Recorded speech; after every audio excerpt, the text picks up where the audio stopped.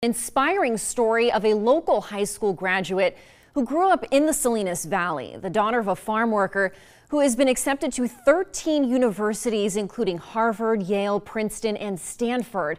She graduated today at the top of her class and shared her story of determination and overcoming great barriers. Action News reporter Bianca Beltran has tonight's top story.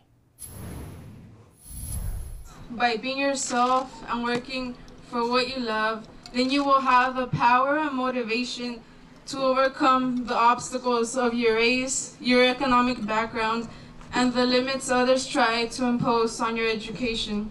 Cecelia Trujillo learned this from her parents. Her father, a tractor driver, and her mother worked in the fields of the Salinas Valley. Well, they've always been very hardworking, and I picked up on their work ethic. The Gonzales High valedictorian was classified as an English learner when she first enrolled at Chualar Elementary. She went on to win the Monterey County Spelling Bee in 2013. Now she's graduating with a 4.5 GPA, college classes already under her belt, and a full scholarship to Harvard, where she will study applied mathematics. And by the way, she has a black belt in karate, among achievements in several other activities. Her parents are extremely proud, giving thanks to the community for their support. Her father says he's glad she has the opportunity to follow her dreams.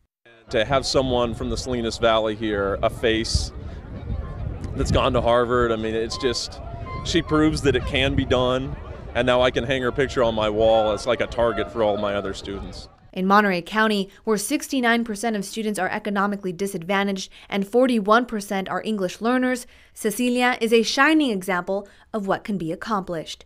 Cecelia has done an amazing job of bringing her to this point in life, and she's going to go on to do great things. Reporting in Gonzales, Bianca Beltran, KSBW, Action News 8.